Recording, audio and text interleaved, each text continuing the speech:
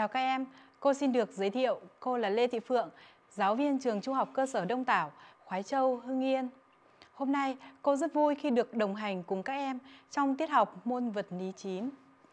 Trước khi vào nội dung của tiết học ngày hôm nay, các em hãy cùng cô quan sát một số hình ảnh và thực hiện cho cô giáo yêu cầu sau. Trên màn hình, cô giáo đang có 6 hình ảnh và tương ứng với 6 hình ảnh, đó là 6 cụm từ. Và nhiệm vụ của các em, đó là các em hãy chọn các cụm từ và sắp xếp chúng sao cho phù hợp với các hình ảnh. Và thời gian để các em thực hiện nhiệm vụ này, đó là 30 giây. 30 giây cho các em bắt đầu. Các em hãy cùng quan sát thật kỹ từng hình ảnh để từ đó có thể lựa chọn được từ hoặc cụm từ thích hợp với hình ảnh đó.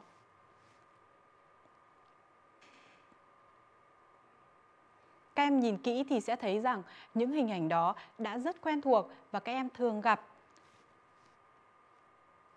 Chỉ còn lại 10 giây, các em hãy nhanh chóng thực hiện cái nhiệm vụ của cô giáo.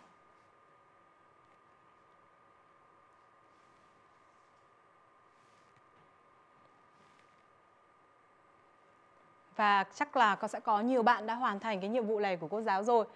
Và thời gian của cô giáo dành cho nhiệm vụ trên cũng đã hết. Các em hãy cùng hướng lên màn hình và so sánh với kết quả của cô giáo. Ở hình ảnh đầu tiên thì từ phù hợp đó là mắt. Ở hình ảnh thứ hai thì cụm từ phù hợp đó là máy ảnh. Ở hình ảnh số 3 đó là kính lúp. Ở hình ảnh thứ tư đó là kính cận. Ở hình ảnh số 5, đó là một chiếc gương cầu lồi. Và ở hình ảnh cuối cùng, đó là kính lão. Vậy, ở đây cô giáo đang có 6 hình ảnh. Và tương ứng với 6 hình ảnh, đó là 6 dụng cụ quang học mà các em đã biết. Và trong những dụng cụ quang học đó thì ở các tiết học trước các em đã được tìm hiểu một vài dụng cụ và những dụng cụ này nó đều nằm trong chủ đề quang học. Thì bài học ngày hôm nay cô cùng các em sẽ đi ôn tập lại nội dung của chủ đề quang học. Chúng ta cùng vào bài 11 ôn tập chủ đề quang học. Nội dung của bài học ngày hôm nay bao gồm có hai phần. Phần thứ nhất, các em sẽ đi cùng cô hệ thống lại toàn bộ lý thuyết của chủ đề. Phần thứ hai, chúng ta sẽ cùng nhau làm một số bài tập để củng cố và khắc sâu lại những phần lý thuyết đó. Chúng ta sẽ cùng đi vào phần đầu tiên, một nam mã lý thuyết. Thì trong chủ đề quang học, chúng ta có 3 nội dung chính. Nội dung thứ nhất đó là thấu kính, nội dung thứ hai đó là mắt và nội dung thứ ba đó là kính lúp. Vậy trong nội dung về thấu kính thì các em đã được học hai loại thấu kính, đó là thấu kính hội tụ và thấu kính phân kỳ. Trong nội dung về thấu kính hội tụ thì các em nhớ cho cô giáo, một là đặc điểm của thấu kính, hai là đặc điểm của ảnh. Về đặc điểm của thấu kính thì thấu kính hội tụ nó là một thấu kính có phần rìa mỏng hơn phần giữa và nó biến chùm tia tới song song thành chùm tia ló hội tụ. Về đặc điểm của ảnh thì ảnh của một vật qua thấu kính hội tụ có thể là ảnh thật, cũng có thể là ảnh ảo. Nếu vật đặt ngoài khoảng tiêu cự như là D lớn hơn F thì chúng ta có ảnh thật ngược chiều với vật và có độ lớn phụ thuộc vào vị trí đặt vật. Trường hợp thứ hai, nếu vật đặt trong khoảng tiêu cự của thấu kính nghĩa là D nhỏ hơn F thì ảnh tạo bởi thấu kính là ảnh ảo cùng chiều với vật và lớn hơn vật. Tương tự như vậy với thấu kính phân kỳ, các em cũng cần ghi nhớ cho cô giáo đặc điểm của thấu kính và đặc điểm của ảnh. Về đặc điểm của thấu kính phân kỳ thì nó có phần rìa dày hơn phần giữa và là biến chùm tia tới song song thành chùm tia ló phân kỳ. Về đặc điểm của ảnh thì ảnh của một vật qua thấu kính phân kỳ luôn luôn lải ngảo, cùng chiều với vật và nhỏ hơn vật. Vậy thì các em cùng hướng lên màn hình, chúng ta thấy có một điểm trong trường hợp cho ảnh ảo của thấu kính hội tụ và ảnh ảo của thấu kính phân kỳ thì đặc điểm của ảnh ảo có gì khác nhau ở hai thấu kính này? Thì ảnh ảo của thấu kính hội tụ bao giờ cũng lớn hơn vật. Còn ảnh ảo của thấu kính phân kỳ thì bao giờ cũng nhỏ hơn vật. Vậy thì ngoài đặc điểm về thấu kính và đặc điểm của ảnh thì các em cần nhớ lại cho cô ký hiệu của thấu kính, khái niệm về trục chính, quang tâm, tiêu điểm và tiêu cự cũng như đường truyền của các tia sáng đặc biệt qua hai thấu kính hội tụ và thấu kính phân kỳ. Nội dung thứ hai trong chủ đề quang học của chúng ta đó là mắt. Trong nội dung về mắt thì các em lưu ý cho cô giáo về cấu tạo của mắt và các tật của mắt. Về cấu tạo của mắt thì mắt gồm có hai bộ phận quan trọng, đó là thể thủy tinh đóng vai trò như một thấu kính hội tụ và bộ phận thứ hai đó là màng lưới. Về các tật của mắt thì các em đã được học tật mắt cận và tật mắt lão. Vậy thì biểu hiện của mắt cận đó là nhìn rõ những vật ở gần, nhưng không nhìn rõ những vật ở xa. Và để khắc phục tật mắt cận thì người ta sẽ đeo kính cận là một thấu kính phân kỳ. Và thấu kính phù hợp, nó phải có tiêu điểm ép của kính trùng với điểm cực viễn của mắt. Đó là về mắt cận. Còn mắt lão, chúng ta cũng cần lưu ý. Thứ nhất là biểu hiện của mắt não, đó là chỉ nhìn rõ những vật ở xa, nhưng không nhìn rõ những vật ở gần. Và để khắc phục tật mắt lão thì chúng ta cần đeo kính là kính lão là một thấu kính hội tụ. Và chúng ta lưu ý cho cô giáo là tật mắt lão thì thường xảy ra ở tuổi già. Nội dung cuối cùng trong chủ đề quang học của chúng ta đó là kính lúp. Trong nội dung về kính lúp thì các em cần ghi nhớ cho cô giáo. Một là đặc điểm của kính lúp. Hai là cách sử dụng kính lúp. Và ba là công thức của kính lúp. Về đặc điểm của kính lúp thì kính lúp nó là một thấu kính hội tụ có tiêu cự ngắn và dùng để quan sát các vật nhỏ về cách sử dụng thì khi sử dụng kính lúp các em lưu ý chúng ta sẽ đặt vật cần quan sát nằm trong khoảng tiêu cự của kính để chúng ta thu được ảnh ảo cùng chiều với vật và lớn hơn vật. Về công thức của kính lúp thì chúng ta có công thức là G bằng 25 trên F, trong đó G là số bội giác của kính, F là tiêu cự của kính và trong đơn vị, trong công thức này thì F có đơn vị là cm. Vậy là trong chủ đề quang học, cô giáo đã thống kê lại cho chúng ta ba nội dung chính đó là thấu kính, mắt và kính núp. Nhưng trong nội dung về thấu kính thì cô giáo lưu ý với các em hai lưu ý sau đây. Lưu ý thứ nhất, các em cần nhớ lại cho cô giáo là cách dựng ảnh của một vật sáng hoặc một điểm sáng qua thấu kính. Vậy thì muốn dựng được ảnh của một điểm sáng hoặc một vật sáng qua thấu kính, thì chúng ta sẽ sử dụng hai trong ba tia sáng đặc biệt.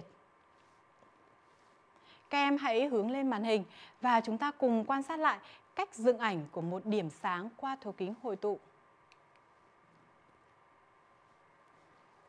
Cô giáo có điểm sáng S và muốn dựng ảnh của điểm sáng S thì các em đã biết rồi, chúng ta sử dụng hai tia sáng đặc biệt.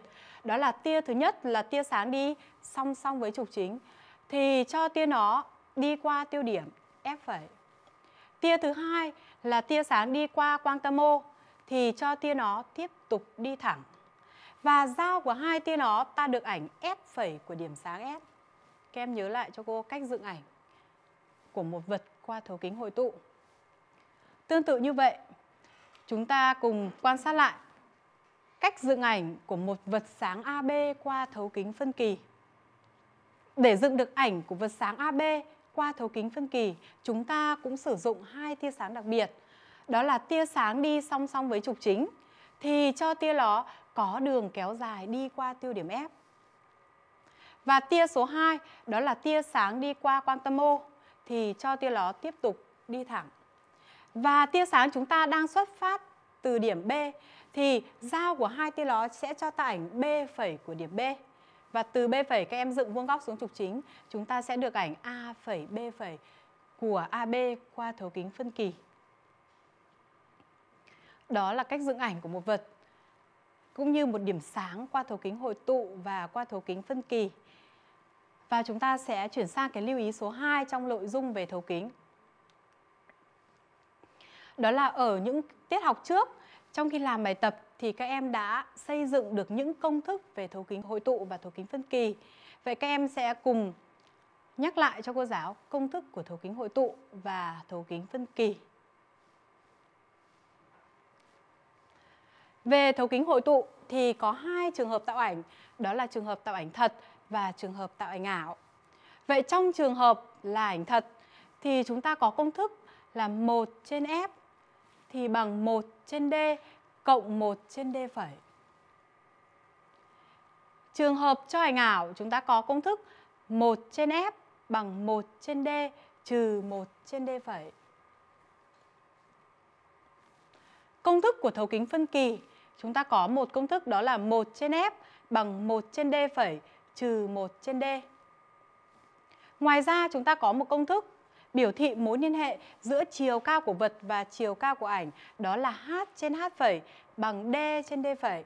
Và cô lưu ý cái công thức h trên h phẩy bằng d trên d phẩy này nó sử dụng chung cho cả hai loại thấu kính. Và trong những công thức trên thì d là khoảng cách từ vật đến thấu kính, còn d phẩy là khoảng cách từ ảnh đến thấu kính. F là tiêu cự của thấu kính. H là chiều cao của vật và H phẩy là chiều cao của ảnh. Vậy với việc sử dụng các công thức của thấu kính để chúng ta có thể dễ dàng kiểm tra được kết quả những bài tập về thấu kính khi chúng ta sử dụng các tam giác đồng dạng, hoặc sẽ giúp các em làm những bài tập trắc nghiệm về thấu kính một cách đơn giản hơn. Đó là hai lưu ý hết sức quan trọng trong nội dung về thấu kính. Vậy thì ngoài các nội dung chính trong chủ đề quang học mà cô giáo và các em vừa hệ thống lại thì trong sách giáo khoa hiện hành, chúng ta còn một số bài. Ví dụ như là sự tạo ảnh trong máy ảnh, ánh sáng trắng và ánh sáng màu, sự phân tích ánh sáng trắng. Thì những bài học đó thuộc chương trình giảm tải của bộ thì cô khuyến khích các em về nhà sẽ tự tìm hiểu.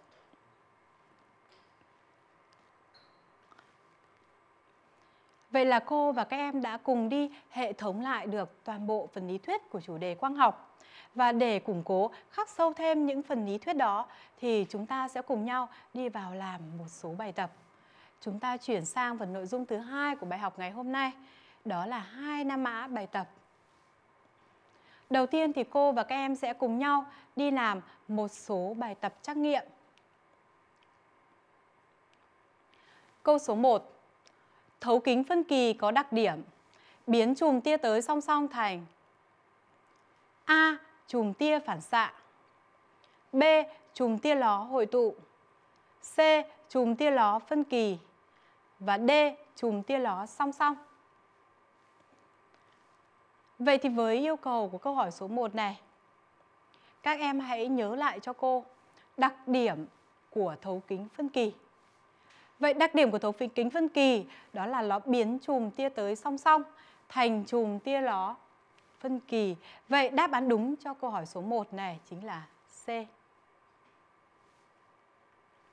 Chúng ta chuyển sang câu hỏi số 2. Về phương diện quang học thì thể thủy tinh của mắt giống như A. Gương cầu lõm, B gương cầu lồi, C. Thấu kính phân kỳ và D. Thấu kính hội tụ. Vậy các em hãy nhớ lại cho cô tấu, cấu tạo của mắt. Thì thể thủy tinh của mắt nó đóng vai trò giống như một thấu kính hội tụ. Vậy đáp án đúng cho câu hỏi số 2 này chính là D. Chúng ta sẽ cùng chuyển sang câu hỏi tiếp theo. Câu hỏi số 3. Ảnh ảo của một vật tạo bởi thấu kính có tính chất A. Nhỏ hơn vật B. Lớn hơn vật C.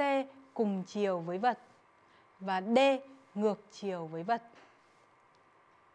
Vậy thì với câu hỏi số 3 này, Các em hãy nhớ lại ờ, Tính chất của ảnh ảo Ảnh ảo của một vật thì qua thấu kính, dù là hội tụ hay thấu kính phân kỳ, thì ảnh ảo bao giờ cũng phải cùng chiều với vật. Vậy đáp án đúng cho câu hỏi số 3 này chính là C. Chúng ta cùng chuyển sang câu hỏi tiếp theo. Câu hỏi số 4. Các em lưu ý, đây là một câu sao nhé. Dùng một kính lúp có số bội giác là 10x để quan sát một vật đặt cách kính lúp là 2 cm. Khi đó, ảnh tạo bởi kính lúp cao gấp bao nhiêu lần vật? A. 5 lần B. 2 lần C. 10 lần và D. 4 lần. Vậy thì để có thể đưa ra được đáp án cho câu hỏi số 4 này, các em hãy lắng nghe cái gợi ý trên của cô giáo.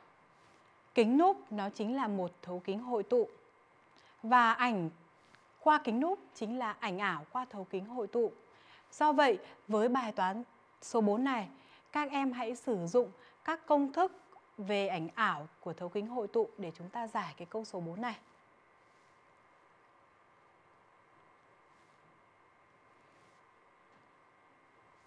Chúng ta sẽ đi vào xem cái hướng dẫn cho câu hỏi số 4 này của cô giáo. Đề bài cho kính núp có số bội giác là 10x, nghĩa là lúc này chúng ta có g bằng 10. Vậy có g, các em có thể tính được cho cô tiêu cự của kính. Từ công thức g bằng 25 trên f thì chúng ta sẽ suy ra được f bằng 25 trên g. Và thay số vào, các em sẽ tính được tiêu cự của kính là 5 phần 2 cm. Vậy đã có tiêu cự của kính mà đề bài lại cho vật đặt cách kính lúp là 2 cm. Nghĩa là chúng ta có D bằng 2 cm. Vậy đã có F, có D, chúng ta sẽ tính được D phẩy. Và chúng ta sẽ tính D phẩy từ công thức 1 trên F bằng 1 trên D trừ 1 trên D phẩy. Và từ đó các em suy ra 1 trên D phẩy sẽ bằng 1 trên D trừ 1 trên F. Và thay số vào, các em sẽ tính được D phẩy bằng 10 cm. Vậy thì để biết được là ảnh tạo bởi kính lúp cao gấp bao nhiêu lần vật thì các em hãy đi tính cho cô giáo cái tỷ số h phẩy trên h. Vậy h phẩy trên h lúc này sẽ bằng D phẩy trên D. Vậy các em sẽ thay D phẩy và thay D vào tính được cái tỷ số này bằng bằng 5. Được chưa nhỉ?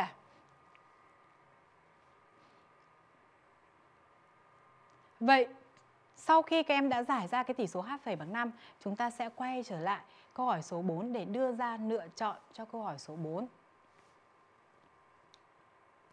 Đó là A 5 lần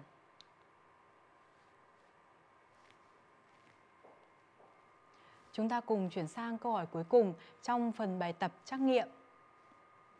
Câu hỏi số 5.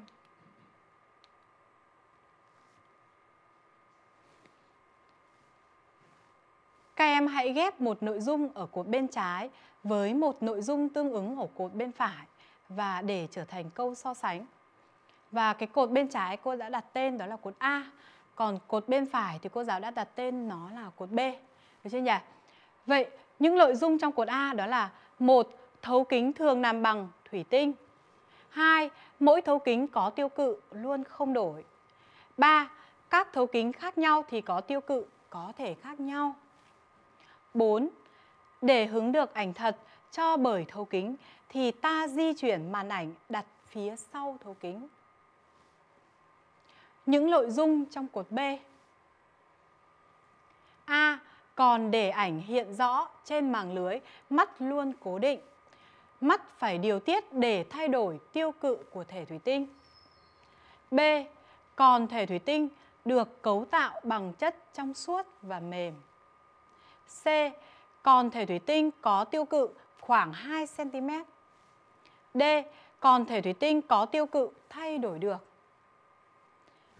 Vậy các em hãy lưu ý cho cô giáo là những nội dung hay những thông tin đưa ra trong cột A nó xoay quanh thấu kính, được chưa nhỉ?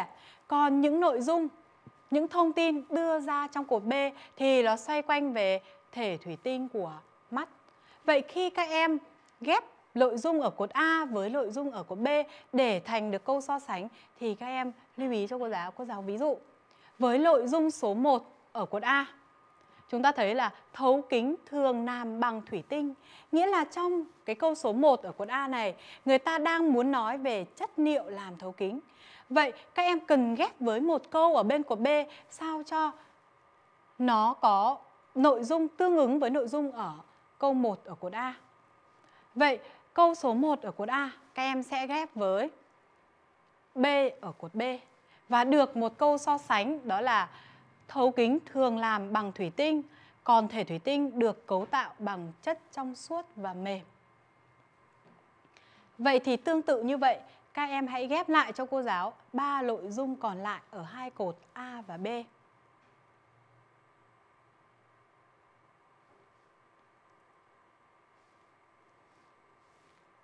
Các em hãy cùng kiểm tra cùng cô giáo.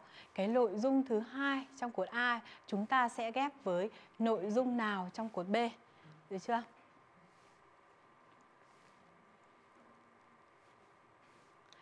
Vậy chúng ta thấy là nội dung thứ hai ở cột A, chúng ta phải ghép với nội dung D ở cột B và được một câu so sánh đó là mỗi thấu kính thì có tiêu cự, luôn không đổi. Còn thể thủy tinh thì có tiêu cự thay đổi được. Nội dung thứ ba ở cột A chúng ta sẽ ghép với nội dung C ở cột B và được một câu hoàn chỉnh đó là các thấu kính khác nhau có tiêu cự có thể khác nhau. Còn thể thủy tinh có tiêu cự khoảng 2 cm. Vậy thì nội dung còn lại ở hai cột chúng ta sẽ ghép với nhau và được một câu hoàn chỉnh đó là để hứng được ảnh thật cho bởi thấu kính, ta duy chuyển màn ảnh đặt phía sau thấu kính. Còn để ảnh hiện rõ trên màng lưới, mắt luôn cố định và mắt phải điều tiết để thay đổi tiêu cự của thể thủy tinh. Đó là nội dung của câu hỏi số 5.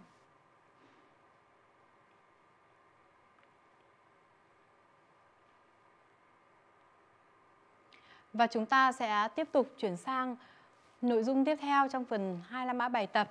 Đó là chúng ta sẽ cùng nhau đi làm một số bài tập bài tập tự luận. Bài tập số 1.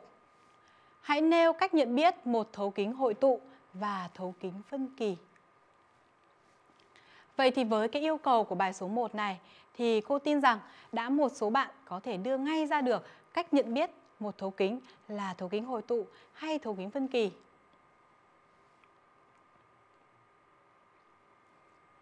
Còn bạn nào khó khăn trong phần nhận biết thì các em có thể hướng lên màn hình để tham khảo cái gợi ý trên của cô giáo. Đó là để nhận biết một thấu kính là thấu kính hội tụ hay thấu kính phân kỳ, các em có thể dựa vào thứ nhất, hình dạng hoặc thứ hai chúng ta có thể dựa vào đặc điểm của chùm tia ló hoặc có thể dựa vào đặc điểm của ảnh. Vậy với ba gợi ý trên thì các em hãy nêu cách nhận biết một thấu kính là thấu kính hội tụ hay thấu kính phân kỳ vào trong vở cho cô.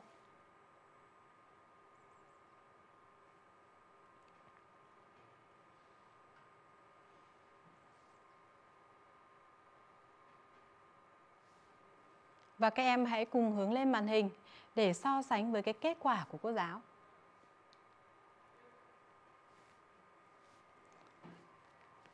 Cô giáo có cách nhận biết, nếu dựa vào hình dạng thì thấu kính hội tụ nếu nó có phần rìa mỏng hơn phần giữa. Nếu là thấu kính phân kỳ thì nó phải có phần rìa dày hơn phần giữa. Nếu dựa vào đặc điểm của chùm tia nó, khi chùm tia sáng tới đi song song với trục chính thì là thấu kính hội tụ khi chùm tia ló là chùm tia hội tụ. Là thấu kính phân kỳ nếu chùm tia ló là chùm tia phân kỳ. Nếu dựa vào sự tạo ảnh qua thấu kính, thì trường hợp ảnh ảo mà lớn hơn vật thì đó là thấu kính hội tụ. Ảnh ảo mà nhỏ hơn vật thì đó là thấu kính phân kỳ. Vậy chúng ta có thể sử dụng một trong ba cách trên để nhận biết một thấu kính là thấu kính hội tụ hay thấu kính phân kỳ.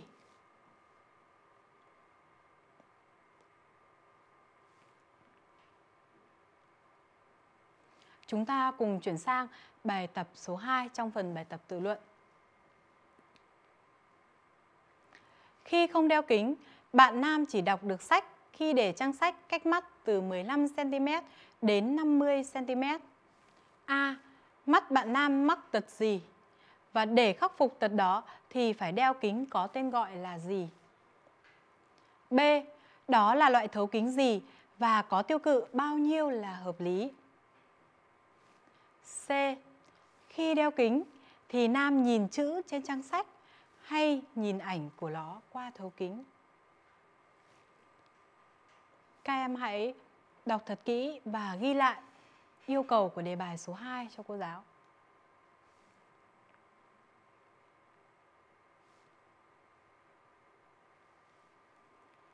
Chúng ta sẽ cùng nhau đi vào làm cái bài tập số 2 này. Ở câu A, người ta hỏi mắt bạn nam mắc tật gì? Và để khắc phục tật đó, chúng ta phải đeo kính có tên gọi là gì? Thì để biết mắt bạn nam mắc tật gì, thì các em cần chú ý đến khoảng nhìn rõ của mắt bạn nam. Được chưa nhỉ? Và đề bài cho là khi không đeo kính, thì bạn nam chỉ đọc được sách khi sách để cách mắt là 15 cm đến 50 cm. Nghĩa là điểm cực viễn của mắt bạn nam đang cách mắt là 50 cm và cái khoảng cách này nó rất là ngắn. Do vậy, mắt bạn nam của chúng ta đang bị tật là cận thị. Và để khắc phục tật cận thị thì bạn nam cần phải đeo kính cận.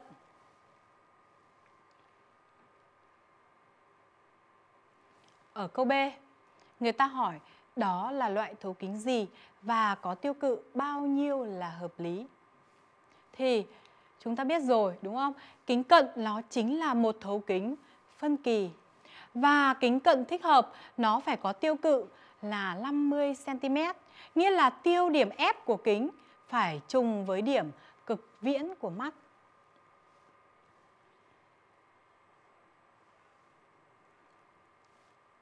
Ở câu C, khi đeo kính thì nam nhìn chữ trên trang sách hay nhìn ảnh của nó qua thấu kính? Thì khi bạn nam đeo kính, thì bạn nam đang nhìn ảnh của chữ trên trang sách. Được chưa nhỉ? Đó là toàn bộ nội dung của cái bài tập số 2. Các em hãy ghi lại vào vở.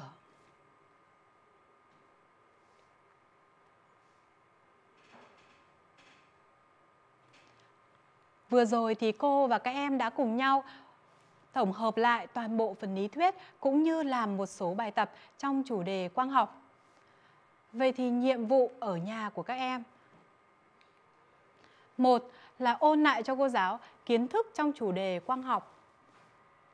Nhiệm vụ số 2 là chuẩn bị cho cô giáo bài năng lượng và sự chuyển hóa năng lượng. Hoàn thiện các bài tập trong sách giáo khoa và sách hướng dẫn và hoàn thiện thêm cho cô giáo hai bài tập sau. Bài tập số 1 Một người dùng kính núp có tiêu cự là 10 cm để quan sát một vật nhỏ, vật đặt cách thấu kính là 8 cm. A. Dựng ảnh của vật qua kính. B. Nhận xét về tính chất của ảnh. C. Ảnh lớn hơn vật bao nhiêu lần.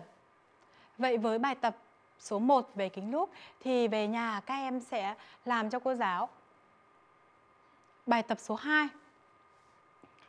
Một vật sáng AB có dạng mũi tên đặt vuông góc với trục chính của một thấu kính hội tụ. Điểm A nằm trên trục chính, cách thấu kính 10 cm. Thấu kính có tiêu cự là 15 cm. A. Hãy vẽ ảnh A phẩy B phẩy của vật AB cho bởi thấu kính. B. Hãy tính khoảng cách từ ảnh đến thấu kính. C. Hãy tính độ cao ảnh A phẩy B phẩy khi AB bằng 2 cm. Các em hãy ghi lại nội dung của hai bài tập ở nhà.